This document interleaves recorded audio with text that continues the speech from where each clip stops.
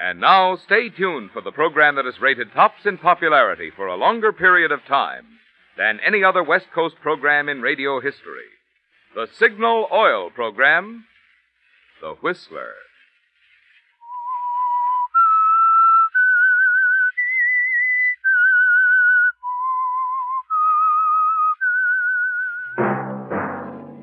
Signal, the famous Go Farther gasoline, invite you to sit back and enjoy another strange story by The Whistler.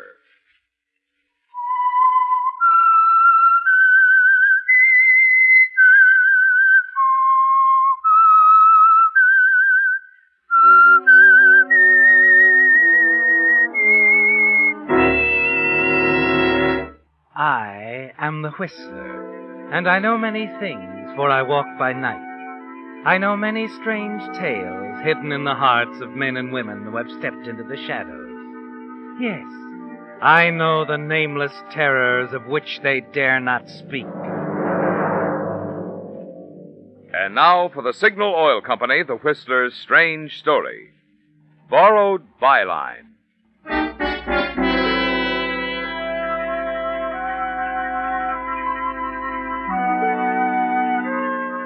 The trip from Calcutta to Hong Kong had been hot and dull, and Craig McKelvey was glad when the slackening of the ship's engines told him they were moving through Lyemun Pass into Hong Kong roads.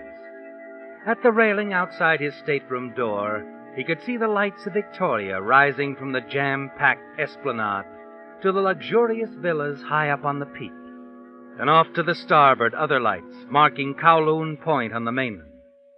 He was glad now that he'd taken the bull by the horns and come here. Calcutta was a fine place for a year, even two, but six years had been too much. And when the opportunity for some quick money had come, he decided to take it and come to Hong Kong, orders or no orders. Five minutes after the gangplank had been lowered to the dock, there was a knock at his stateroom door. Craig McKelvey smiled as he turned to open. Solandrum hadn't changed a bit still as prompt as ever. Well, Alphonse Solandrum. Good evening, McKelvey. Nice to see you again. Yes, indeed. Ah, have a chair. Well, thank you.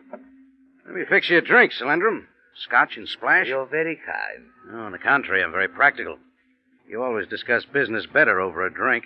And I know the wire you sent me had a deal in it somewhere. I thought I made that clear.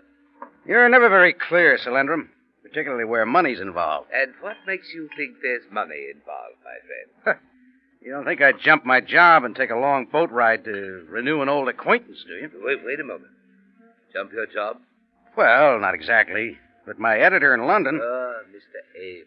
All right, Mr. Ames fails to realize that at times a roving correspondent has to rove. You might take a dim view of my sudden departure from Calcutta. I hope not. Huh? You see, McKelvey, your excellent standing with your newspaper in London is exactly the reason I wired you to come here. Here's your drink. Thanks. Your health, my friend. Ah. Excellent Scotch, McKelvey. Excellent. You can thank the purser. I won it from him last night in a card game.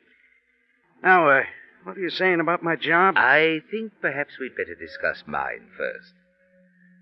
I've established a new connection, McKelvey, I see. representing a British importing firm. Sounds honest. So it is. It's strange, Alphonse. I've never known you. Ah, to- tut, tut, tut, tut, tut. My past is a closed book, something to be forgotten. There's much to be done here, McKelvey. New worlds to conquer. The right man, the right set of circumstances, and the wealth of the Orient is here for the taking. Uh, tell me, my friend, how much do you know of natural history? What? Do you know, for example, that on the slopes of the mountains to the west there lives a species of deer, a small hornless animal, unimpressive as a trophy, but worthy of the most skilful hunter who ever held a rifle? Uh, if you don't mind, old man. I'm being obscure again. Uh, to make a long story short, McKelvey, this little animal is the source of one of the most precious materials in the world. A substance for which there is an almost hysterical demand at this very moment. Well, go on. What is it? Musk. Musk? An essential ingredient of the finest perfumes. What little there is is in great demand on today's market. Well, that's all very interesting, but where do I come in? I'm coming to that. It seems there is a persistent rumor that a fabulous amount of purest Tibetan musk is floating around East Asia somewhere. My firm is most anxious to locate it. So anxious, in fact, that they've retained me for the past eight months solely to conduct the search. And that, McKelvey, is where you come in. Oh, is it? A simple dispatch in your very reliable newspaper indicating I have discovered the musk would simplify my problem immeasurably. I'm still a lap or two behind, Alphonse. I, I know I can be frank with you, my friend. From the moment I accepted this proposition, my problem has been to persuade my superiors in London to advance funds to cover the purchase. Needless to say, my firm in London tends to be cautious, since the transaction will come to over a quarter million American dollars. Then you have found the musk. Oh, no. Hmm. Yet you want me to file that story. Oh, come, McKelvey. You haven't developed any moral compunctions after all these years? No, just being practical again, Alphonse. You'd never get away with it, you know. In the first place, they'd never send the funds without checking. In the second place, the idea of picking off a quarter million dollars and disappearing is simply fantastic. You underestimate me, my friend. After all, I haven't been at work on this for eight months for nothing. So all you need is a story over my signature, and they'll jump. They do anything to close fast, prevent competitive bidding. I see. You realize, of course, that this kind of a sellout would finish me as a foreign correspondent. It should be well worth your while. How much? 25,000 American dollars. You underestimate me, Alphonse. Make it 50,000. That's a lot of money for a story. You're buying a career. Excuse me. Yes. Cablegram, sir. Oh, there you are. Thank you, sir. Hmm. Hold for arrival.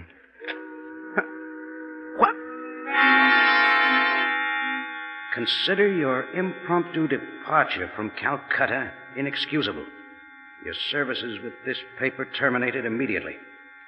Frank Parksley has requested temporary transfer to Hong Kong, instructing him to replace you on arrival. Ames.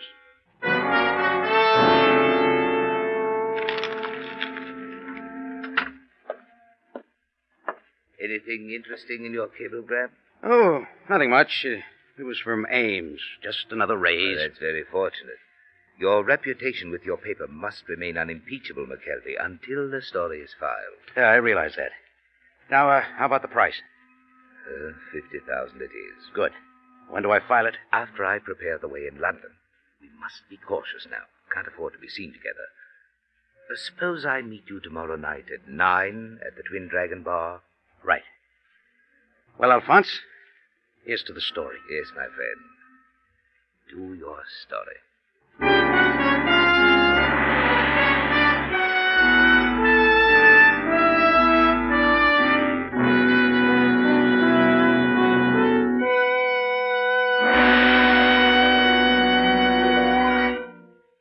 The high compression engines of many of today's newer cars are designed to perform best on a premium quality gasoline such as Signal Ethyl. But if you're nursing along an older model, you may think ethyl gasoline wouldn't make any difference in your car. Well, if you'd see some of the vintage models that fill up at the Signal Ethyl pump and hear the enthusiasm of their owners, you'd change your mind. For instance, a chap who lives up in a hilly section was relating, You should see some cars struggle when they try to pull my hill. But with Signal Ethyl, my 41 model walks right up in high. Another driver of a 46 model remarked, On cold mornings, I hear some of my friends complaining about hard starting. But with Signal Ethyl, my car starts quick as a rabbit. Yes, folks say mighty nice things about Signal Ethyl, because this premium grade of Signal's famous Go Farther gasoline is engineered to bring out the best in any car of any age. So if you're not getting the fun out of driving you used to, why not try this little experiment? Do as new car buyers do. Treat yours to a tankful of Signal Ethyl. See if you don't feel the difference, a wonderful difference, in Signal Ethyl.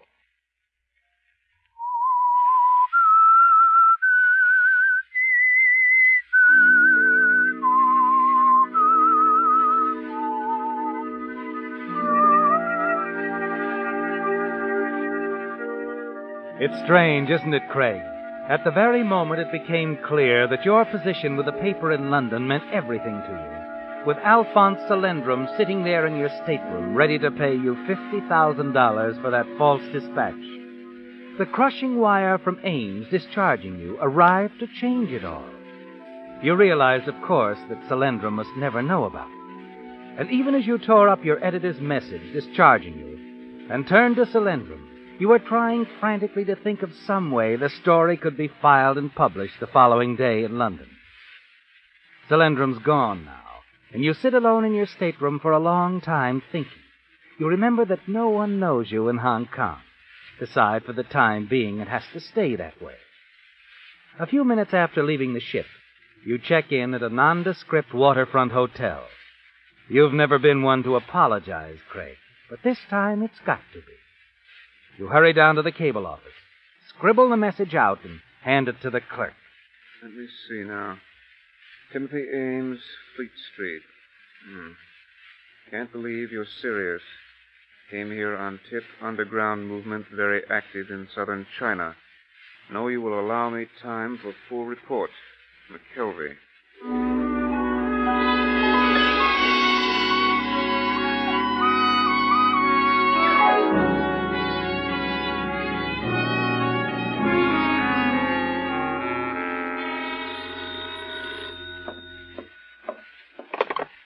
Yes, Mr. McKelvey, uh, speaking. we have received a cable for you from London.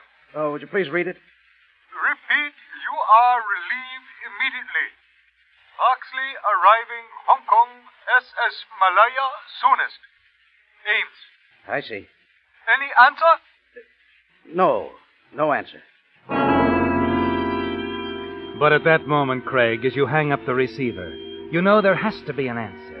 That the story must be filed somehow, even if you have to use Frank Parksley's name. That with $50,000 involved, nothing is going to stop you. You call the porter's desk. Porter's desk. Uh, when is the steamship Malaya due in? Malaya? Uh, Sunday night. Thanks.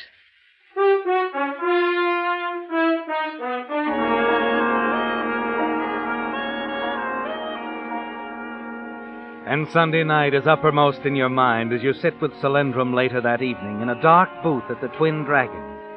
Going over the text of the story you know you'll have to file under Frank Parksley's byline. You've got that straight, McKelvey. Negotiations are underway. Mind you, nothing more. We must not imply the deal is anywhere near closed. Of course. They must fear competition, you see. Rival offers, higher bids. I see. When does it go? Tonight. Tonight, huh? Yes, we can move fast now. Everything's in readiness. Oh, aren't you being a little hasty? Why do you say that? Well, it's very simple. The heaviest advertising days are at the end of the week. Our story might end up on the press room floor. Oh. Well, then, what do you suggest? Sunday night. We can't miss if we aim for Monday's late edition. Oh. Well, I hate to wait now. You've got to wait if you want to be sure. Well, all right, McKelvey. I'll leave it up to you. Sunday night.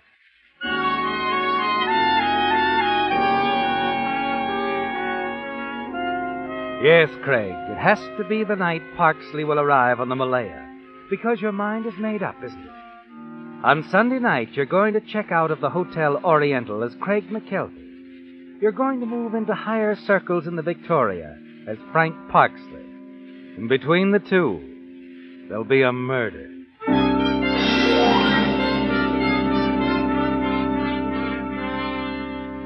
Sunday night finds you at the dock waiting, looking up at the sleek side of the passenger vessel that just pulled in, the SS Malaya.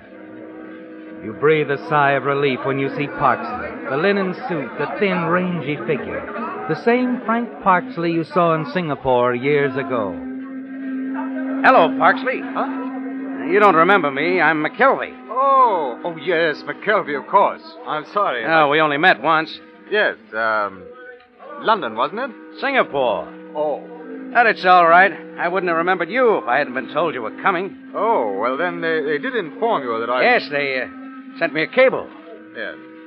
Uh, I'm sorry, old man. I, I've been trying desperately to get out of Burma, but it hasn't anything to do with displacing anyone. Oh, I know. That's my own doing. And Ames, he agrees that I'm a bum. Uh, Well, uh, I wouldn't worry about it. We, uh, we all have at least one editor who can't stand us. Sure. Uh, look, I hired a car. I'll uh, drive you up to the hotel. Well, that's space sporting of you, McKelvey. However, there's, there's been a delay in getting my baggage off, and I'm afraid. Oh, they'll send it up for you. Well, if you don't mind, I'd rather wait. Uh, past experience, you know. Somewhere in the Orient, there's a typewriter, three suits, and six pair of my best Argyle. Yeah, I know what you mean. So we wait. Yes, if you don't mind. I insist. You don't know Hong Kong, Parksley, but it's like the baggage. A man can get lost here. I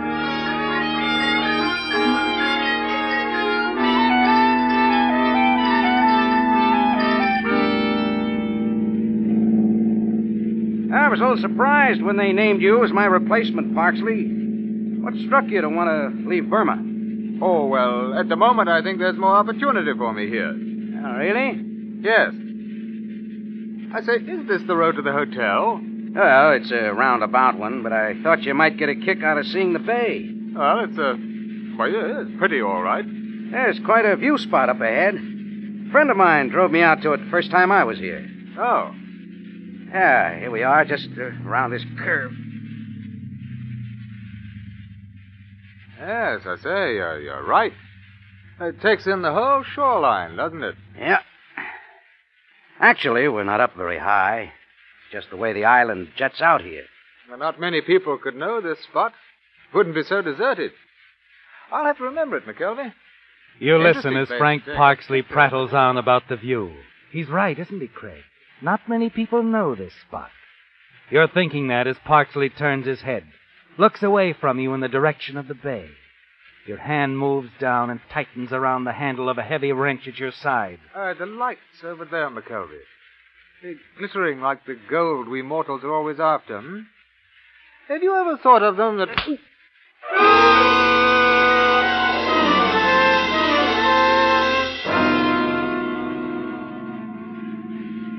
The drive back to town gives you your first chance to really let down since meeting Frank Parksley. It's over now, Craig. You did it. Killed Parksley and sent his body, heavily weighted with stones, over the side of the cliff and splashing into the waters of the bay. You're glad now that he insisted on waiting for his luggage. You have a use for it, haven't you? Yes, at Parksley's Hotel. But not before you return the rented car and attend to a few things at your own hotel. Oh, you leave, Mr. McKelvey? Yes, checking out, Sam. Getting passage on the Malaya.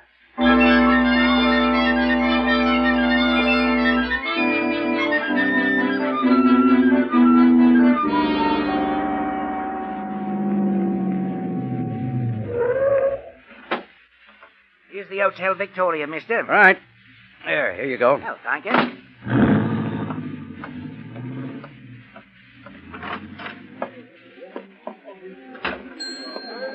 Front, boy. Front. Oh, uh, uh, yes, sir. I uh, wired for a reservation. The name is Parksley. Oh, yes, I remember. If you'll just sign this card, Mr. Parksley. Very well. And it's room number 402. Here's the key. Uh, the boy will take your bags. Fine.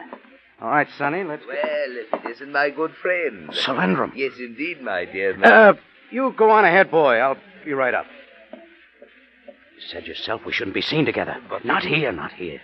I'm in room 402. If there's anything to talk about, wait about a half hour and then meet me there. As you wish, my friend. Room 402.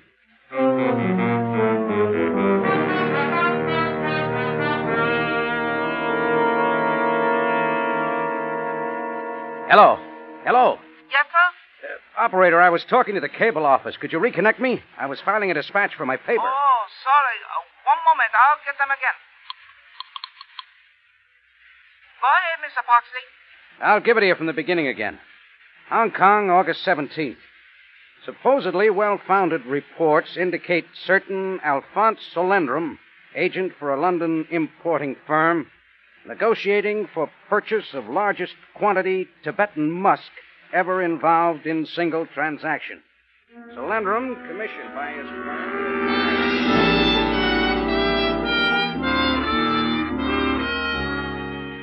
A few minutes later, and it's over, isn't it, Craig? You hang up the phone, sit back, and breathe a sigh of relief. You worked fast, didn't you? And it went through. Everything you said. The report will appear in the London paper. You've managed to keep your promise to Solendraum, haven't you, Craig? With the aid of Parksley's arrival and sudden uh, departure. Now all that's ahead is to wait and collect your fee. Hello, my friend. Come on in, Solendraum. I trust you feel free to talk now, my dear McKelvey. Anybody see you come up? Why are you so nervous? You're not at all the man of iron. Never mind. Just don't like to ask for trouble, that's all. I did a serious thing. I hope you appreciate that. You've already filed the dispatch? I have. Oh. What's the matter? Don't tell me it isn't going to work. I have better news, McKelvey. Much better. News that will preserve your integrity as a correspondent. What are you driving at? Supposing I were to tell you that anything you said concerning the negotiations for my firm in London were true. Is that what you are telling me? Exactly. At long last, after eight months, mind you, I have been contacted by letter. The man who has the musk wishes to discuss business with me. Now, wait a minute. We had an agreement. Oh, please, my friend, I'm forgetting. Not for one moment. As you say, we had an agreement, a gentleman's agreement. And because of it, you will receive the amount I promised. But if you have to make a legitimate purchase. I'm not above such an action, McKelvey, not under the right circumstances. You're uh, meeting this man tonight? He's coming here to the hotel, yes. I, uh, I must talk to him privately. You see, the margin of profit is accounted for by the simple fact that he did not come by the musk by entirely honest means. So he's willing to sell for less? I am buying the musk for exactly half the price my firm will pay. I see. Very neat, Solendraum. So you need have no concern over your share. I'll bring it here to your room the moment my, uh, my guest departs. Ah, sorry, Solendraum. I hate to be indelicate about it, but I'm in too deep. We'll wait for your man right here. Together. Yes, Clark? Uh, this is 402. Yes, sir. Mr. Solendraum is visiting with me, but he expects a caller. If anyone asks for him, would you send him up here? Certainly, Mr. Parksley. Thank you. All taken care of, my friend? All taken care of. Nothing to do now but sit and wait. Ah, yes. And the moment is close, McKelvey. This will-o'-the-wisp I've pursued these many months is almost in my grasp. Think, man, in a matter of hours, perhaps minutes, we'll both be rich. And you are thinking, aren't you, Craig? There's a tense, nervous feeling inside you. And you know Solendraum senses it too. Both of you sit there in silence, waiting, waiting.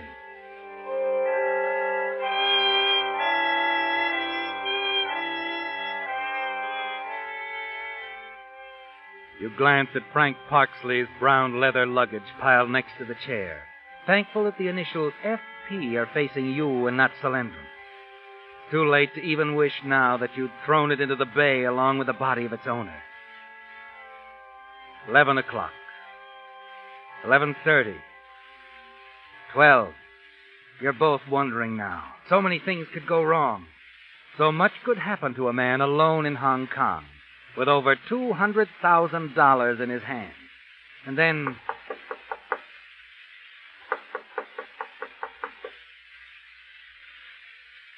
You'd better answer the door, my friend.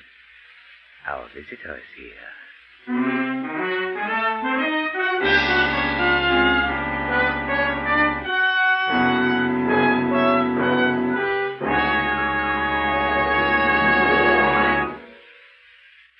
If you're not getting a new car, you naturally want your present car to keep performing as well as possible. Well, the lubrication and service a car gets have a lot to do with its performance. And that's where independent signal dealers shine. With them, you see, servicing cars isn't just a temporary job. It's a permanent business in which they've invested their own money. That means signal dealers not only actually enjoy working with cars, but on the average have had years of experience. Experience which gives them valuable know-how that can make such a big difference in a car's performance and upkeep. Also, independent signal dealers are well aware that their success and very livelihood depend on how well they satisfy you. Well, naturally, this conscientious type of personal service can add a lot to your car's life and your driving pleasure. good reason why so many drivers these days are switching to the friendly service stations that feature the famous Go Farther gasoline. Signal, that is.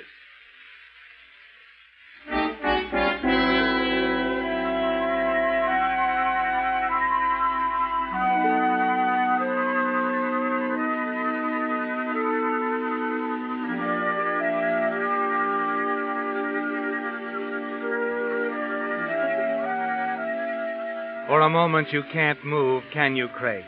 Then suddenly you find yourself on your feet. And in the few seconds it takes you to cross the room, the whole nightmarish story flashes across your mind.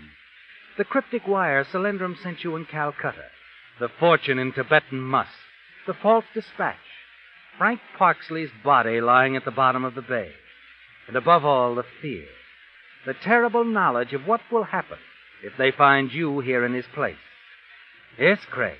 From now on, you have to move fast. Good evening. I wonder if I'm in the right room. Oh, yes, yes. The man you want is inside. Oh. Come in. This is Mr. Solyndram. Good evening. I presume you're Parksley? Parksley. Yes, Craig, the man I've been expecting. That's very interesting, Mr. Solyndram. I'm Inspector Wilson. I knew Frank Parksley wasn't working alone, so I've been following him ever since he robbed a trader in Burma of a fortune in Tibetan musk. Well, this is obviously something between you two gentlemen, so I'll. Oh, no, my friend, don't go. You're in this too. You're quite right. You see, after tracing Parksley this far, I lost track of him momentarily. Disappeared. Quite remarkable. Then this afternoon, some fishermen reported a body visible at low tide in the shallow water off Crown Point. A body. Yes, Parksley's body.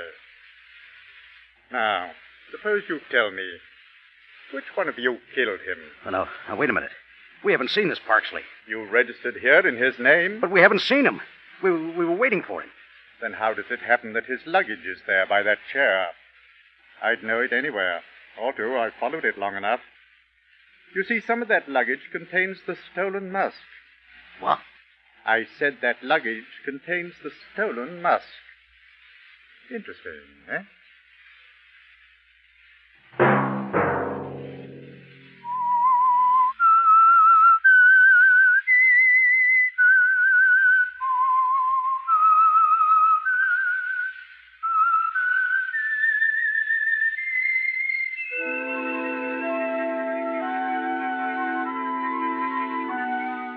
Let that whistle be your signal for the Signal Oil program, The Whistler, each Sunday night at this same time.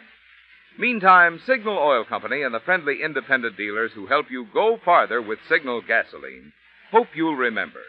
Regardless of what gasoline you use, you'll enjoy more miles of happy driving if you drive at sensible speeds, obey traffic regulations, and avoid taking chances. You may even save a life, possibly your own.